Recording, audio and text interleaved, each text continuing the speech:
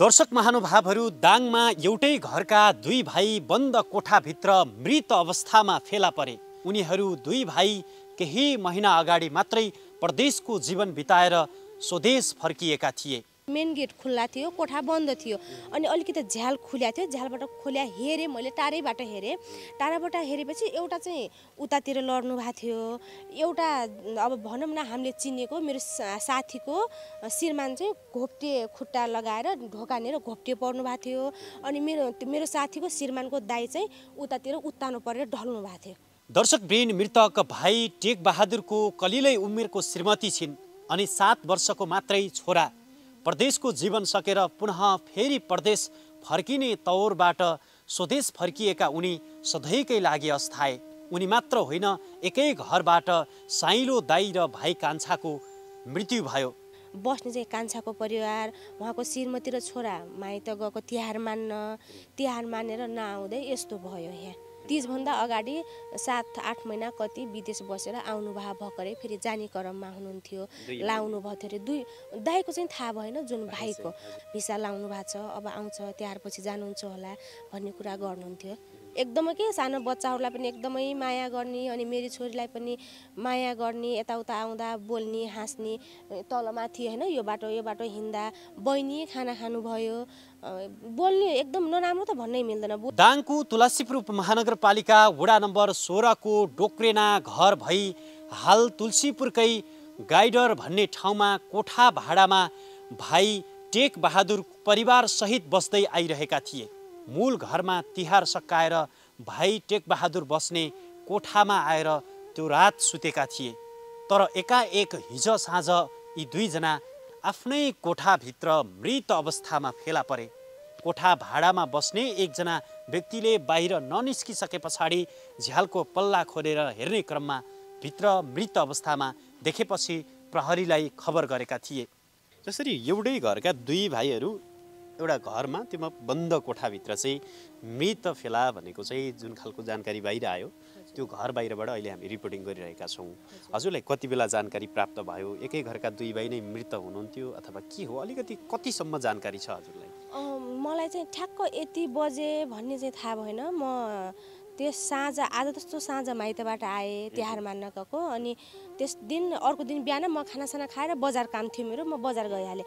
बजार गएपछि म लगभग घडी चाहिँ ठ्याक्कै मैले हेरेन। तिन बजेतिर भनौँ है यसो अन्तिजामले तिन बजे आएँ तिन बजे आएपछि अलिकति घरमा यताउता सफा गऱ्यो बिहान खाएको चुलो भाँडो गरिरहेको थिएन चुलो भाँडो गरेँ अनि साथीहरू उताबाट हाम्रो अरू साथीहरू आउनुभयो माथिदेखि। माथिदेखि आएपछि त्यो घर पस्नुभयो क्या सरासर। पस्नुभयो अनि मैले यहाँनिर बढाल्दै थिएँ। कि मैले हेरेँ है हेरेँ। हेरेपछि के भयो छ यहाँ किन जानुभएछ त भनेर म पनि त्यही हातमा बराबर दैको झाडु लगेर गएँ। झाडु लगेर गएपछि अरू साथीहरू अनि त्यो घरबेटी बाबु अनि उतातिरको एउटा चौधरी दिदी सबै हुनुहुन्थ्यो। त्यहाँनिर जम्मा हुनुभएको थियो। उतातिर एउटा सानो भाइ जम्मा हुनुभएको थियो। जम्मा भएपछि म पनि गएँ। म गइपुगेपछि हल्का झ्याल थोरै कोठा चाहिँ बन्द थियो। गेट मेन गेट खुल्ला थियो कोठा बन्द थियो। अनि अलिकति झ्याल खुल्या थियो झ्यालबाट खोल्या हेरेँ मैले टाढैबाट हेरेँ। टाढाबाट हेरेपछि एउटा चाहिँ उतातिर लड्नु भएको थियो। एउटा अब भनौँ न हामीले चिनेको मेरो साथीको श्रीमान चाहिँ घोप्टे खुट्टा लगाएर ढोकानेर घोप्टे पर्नु भएको थियो। अनि मेरो मेरो साथीको श्रीमानको दाई चाहिँ उतातिर उत्तानो परेर ढल्नु भएको थियो। भनेपछि उहाँहरू एउटै खाटमा नभइकन छुट्टा छुट्टै खाटमा चाहिँ अवस्थामा। खाटमा चाहिँ दुईजना नै खाटमा हुनुहुन्न थियो दुईजना भैमा एउटा ढोका साइडमा एउटा उतातिर यस्तो किचन भयो किचनदेखि उता अब एउटै रुम भन्नुहोस् न उता यतातिर यतातिर यतातिर बेड राख्या यतातिर किचन अनि किचनदेखि उतातिर एउटा चामलको बाल्टिङ कि भातको राइस कुकरको बाल्टिङ भाँडो के थियो झ्यालबाट त्यति हेऱ्यो त्यो निहालेर पनि हेर्न सकेनौँ हामीले। ढल्नु भएको थियो अनि अर्को चाहिँ ढोकानेर घुरा टेकेर गुम्म पर्नु। भएको थियो। मन्टो पनि तलतिर थियो घुरा गाँठा टेक्नु भएको थियो गुम्म पर्नु भएको थियो। छुटछुटा हुनु त्यो बाहिरबाट हेर्दाखेरि त्यति अवस्था चाहिँ तपाईँहरूले निहाल्न पाउनुभयो। हजुर अँ झ्यालबाट झ्यालको नजिक पनि गएनौँ हामी। झ्यालको टाढै त्यहाँहरूको आफ्नो मान्छेहरू आउनुभयो। आफ्नो मान्छे आएपछि पुलिसहरू पनि आउनुभयो। त्यसपछि अब घरभित्र पनि जाने कुरो भएन। पुलिसहरू आएपछि पस्न पनि पाएनौँ हामीले। अनि रातभरि अब गाउँघरका दाइ भाइहरू कुर्नुभयो बस्नुभयो। अनि त्यहाँको श्रीमती घरतिरको आफ्नो मान्छे पनि आउनुभयो है। अनि श्रीमतीलाई चाहिँ लगिसक्नुभयो घरमा। अनि हामी चाहिँ घरभित्र बस्यौँ। अहिले बिहान चाहिँ लैजानुभयो। टाढैबाट देखियो तन्नारमा घरमा लपट्नु भएको थियो नजिकबाट हेर्न पाइएन देख्न पाइएन टाढेबाट लैजानु भयो अब जसरी यो घरमा को को बस्नुहुन्थ्यो खास गरी कहिलेदेखि बस्नुहुन्थ्यो र सँगसँगै दुई भाइ नै यो घरमा बस्ने गर्नुहुन्थ्यो अथवा चाहिँ सिङ्गल बस्नुहुन्थ्यो के हो अलिकति जानकारी दिनु? हामी पनि यतातिर आएको अब माघको महिनामा दुई वर्ष पुग्छ है हामी बजारदेखि यहाँ घर हालेर सर्या अनि त्यहाँहरू दुई वर्ष पुग्यो होला सायद। है मलाई निश्चित त थाहा छैन। दुई वर्ष यो आउने असोजमा यहाँहरू भाडा कोठा भाडामा बस्लाको दुई वर्ष पुग्यो होला जस्तो लाग्छ मलाई जहाँसम्म। अनि त्यहाँ बस्ने चाहिँ यहाँ कोठा लिएर बस्ने भाइको परिवार भनेको कान्छो भाइको परिवार? हजुर अँ कान्छो भाइको परिवार अनि मरेको चाहिँ साइला हुनुहुन्छ कि त्यति थाहा भएन। हामीले देखेको भने त्यहाँलाई अहिले यही मरेको देख्यौँ दाई हुनुहुन्छ रे रेका कुरा। दाई हुनुहुन्छ रे कुन चाहिँ नि साइला हुनुहुन्छ होला सायद है? मलाई त्यति ढुक्क चाहिँ थाहा भएन। साइला हुनुहुन्छ होला साइला र कान्छा। हामीले चाहिँ त्यहाँको यहाँ बस्नेको जुन बस्ने बित्नुभयो नि त्यहाँको दाइलाई चाहिँ देखाएको थिएनौँ अहिले नै देखियो। त्यही पनि मृतक अवस्थामा। यहाँ त्यहाँहरू कोठा लिएर बसेर चाहिँ दुई वर्ष त्यति भयो होला दुई वर्ष भयो। यो असोजको महिना दुई वर्ष भयो जस्तो लाग्छ है मलाई। भनेपछि त्यो दिन चाहिँ दुई दाजुभाइ मात्रै बसेको देखियो। मृत फेला नै दुईजना भेटिनु भयो जतिजना घरमा बस्नुभएको थियो उहाँहरू नै मृत भेटिनु भयो भोलिपल्ट अथवा देखेको समय त्यो रह्यो। खास उहाँको फ्यामिली चाहिँ जस्तो कान्छोको फ्यामिली साइड बस्नुहुन्छ भन्नु उहाँहरू चाहिँ कहाँ हुनुहुन्छ? अनि उहाँ कान्छोको अब तिनजनाको परिवार अनि एउटा श्रीमान भइहाल्नुभयो बाबु अनि उहाँकी श्रीमती। बाबु र श्रीमती चाहिँ माइत तिहार मान्न गएको। तिहार मान्न गएको अनि दाई चाहिँ यहीँ बस्या। दाई चाहिँ यहीँ बस्या अनि हामी पनि त्यसपछि गइहाल्यौँ उतातिर। अनि गएपछि म आज जस्तो बित्नु भएछ हामी त्यस्तै अघिल्लो दिन साँझ उतै माइतबाट खानासाना खाएर राति आइपुग्यौँ यहाँ।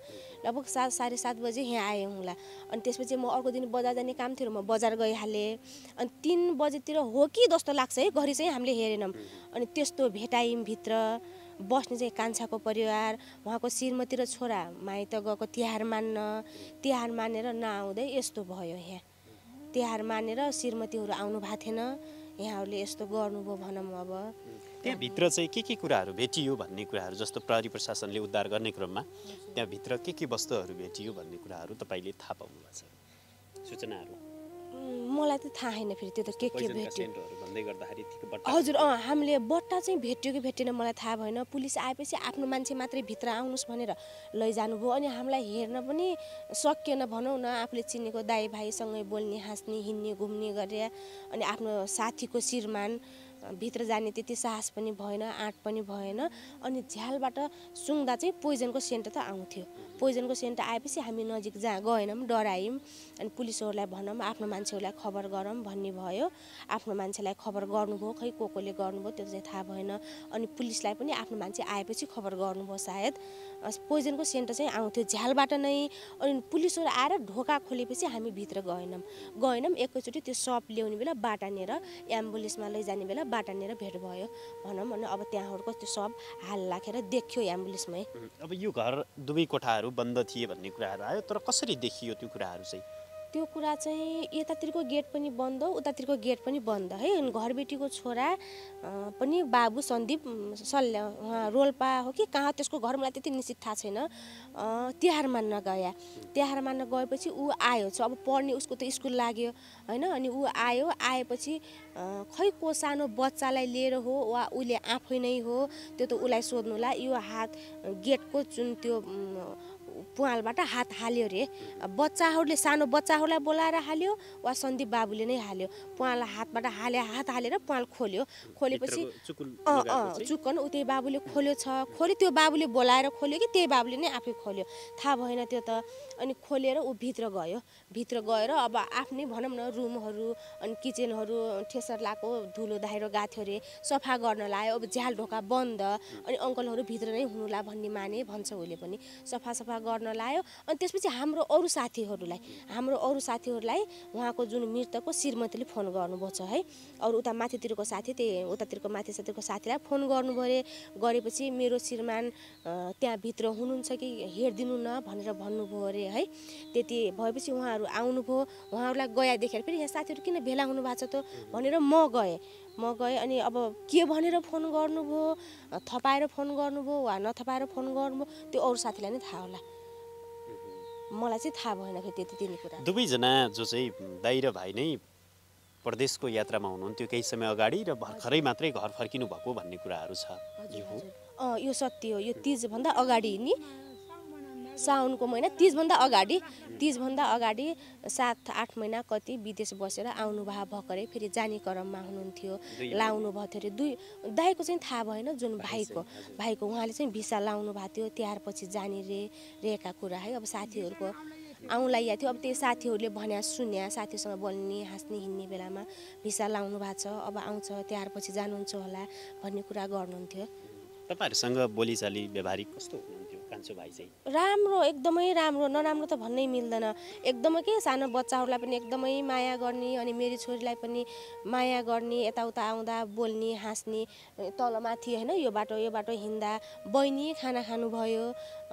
बोल्ने एकदम नराम्रो त भन्नै मिल्दैन। बोली चालीलाई त एकदमै राम्रो। बोल्ने हाँस्ने कुराकानी मेजासेले गाउँघरसँग यत्रो आएको यहाँ दुई वर्ष हुन लाग्यो है। लडाइँ झगडा थपाइएन अनि राम्रो हुनुहुन्थ्यो बोल्ने हाँस्नेमा त एकदमै राम्रो के? एकदमै नराम्रो नै भयो भनौँ। त्यस्तो मान्छे यसरी बितेर जाँदा सोध्दै नसोचेको पोइजनहरू खानुभयो। अब मनभित्र केही पिर थियो केही थियो त्यो त हामीलाई थाहा भएन। बोल्ने हाँस्ने त एकदमै राम्रो हुनु कति वर्षको बच्चा हुनुहुन्छ? कति वर्ष भयो? पाँच छ वर्षको बाबु होला। भनेपछि त अब आमालाई गाह्रो पनि छ। सात वर्ष सात वर्ष सात वर्षको रे है? सात वर्षको भन्नुहुन्छ साथीहरूले हजुर। के भन्नुहुन्छ यस्ता किसिमको? हुन त अनुसन्धानबाट भोलि अरू केही कुराहरू खुल्दै जालान् पनि होइन? अन्तमा चाहिँ यस्ता खालका घटना नघटुन् भन्नका निम्ति यस्तो खालको घटना घट्दै नघटुन्। खाने मान्छेले पनि अब त्यो पोइजन सम त्यो मर्नु नै समस्याको समाधान होइन। मान्छेको चोला होइन कति बेला के हुन्छ कति बेला के हुन्छ। त्यसरी पोइजन खाएर नमरिदिनुहोस्। अब जस्तो त्यहाँहरू त मरेर जानुभयो बाँच्ने छोराछोरीलाई छोरा श्रीमतीलाई कति गाह्रो भयो हेर्नुहोस् न। जति पीडा दुःख कष्ट जे भए पनि यस्तो चाहिँ यस्तो नगरिदिनु होला कसैले पनि नगर्नुहोस्। अब जुन गर्नेले गर्नुभयो आउने दिनहरूमा जति दुःख पीर कष्ट जे छ सहेर बाँच्नु नै जिन्दगी। दुःख त हाम्रो साथी नै हो नि त। अनि मर्ने सबै कुराको समाधान त होइन। अहिले श्रीमतीलाई कस्तो छ छोरालाई कस्तो छ? जुन घटना घट्यो अबदेखि कसैले पनि यस्तो घटना नघटाइदिनुहोस् दुर्घटना हुनु एउटा एक्सिडेन्ट भएर मर्नु अलग हो होइन? पोइजन खाएर मर्नु त अलग हो नि। यस्तो नगरिदिनु पर्ने थियो। के दुःख कष्ट थियो र यस्तो गर्नुभयो? जे दुःख भए पनि श्रीमती साथ सपोर्ट गर्ने श्रीमती हुनुहुन्थ्यो। दुईजना मिलेर नै जे कुरा पनि त दुईजना मिलेर नै हिँडेपछि अगाडि बढ्ने हो नि त। अब त्यो त्यहाँ त बितेर गइजानुभयो सकिगयो। अहिले बाँच्ने श्रीमतीलाई हेर्नुहोस् न कस्तो छ त्यो सानो एउटा नाबालक दुधे बालक बाबु भनौँ। अब त्यो बाबुलाई हेरेर उहाँलाई कति गाह्रो छ त्यो त अब सोच्नै नसक्ने हो। उहाँको श्रीमतीसँग घटना घटिसके पछाडि केही कुराहरू गर्न पाउनु भएको छ कि छैन? पाएनौँ हेर्नु। आउन चाहिँ अस्ति राति भनौँ न हिजो राति आउनुभयो। अनि अब आफ्नै घरमा जाने भनेर लगिहाल्नुभयो। अनि बिहान पनि आउनुभयो हामीले हेर्न सकेनौँ। सँगसाथीलाई त्यस्तो भएको नजिक जाने आँटे नै भएन हाम्रो। टाढे चाहिँ बाटो हेऱ्यो उनी बेहोस हुने उठ्ने बेहोस हुने रुने उठ्ने गरिराख्नु भएको थियो। नजिक जाने आँट भएन हाम्रो। कुरा सा गर्ने साथीहरूसित बस्ने आँट नै भएन हेर्नुहोस्। तिनलाई हेर्न सक्ने त हामीले आँट भएन भनौँ न। त्यस्तो त सँगै हिँड्ने घुम्या यहाँ आएको यत्रो दुई वर्ष भयो सँगै लागेको खाएको सँगै सुत्ने उठ्ने गरेर साथीलाई त्यस्तो पर्दा त हाम्रो आँटै भएन उहाँलाई हेर्ने त। भनौँ अब हुन्छ छिमेकमा घटिसकेको घटना भएर पनि तपाईँसँग हामीले जानकारी ल्यायौँ। जानकारी दिनुभयो यसका लागि धेरै धेरै धन्यवाद। ल हजुरलाई पनि धन्यवाद।